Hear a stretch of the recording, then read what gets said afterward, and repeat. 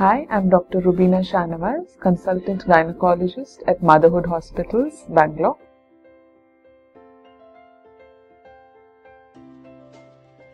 Uh, tests for PID will depend on the kind of symptom. So, if there is any discharge vaginally, usually there is a mucopurulent discharge. Then that is sent, uh, a swab is taken and that is sent for a culture. A doc your doctor will also order for a blood test to see any signs of infection and inflammation in the blood. And we also look for the specific markers of the infection an ultrasound to see how bad the PID is if it's led to formation of cysts in the ovary. And if it is really bad, where we suspect um, that there is an abscess which is formed, then we do go ahead with a laparoscopy.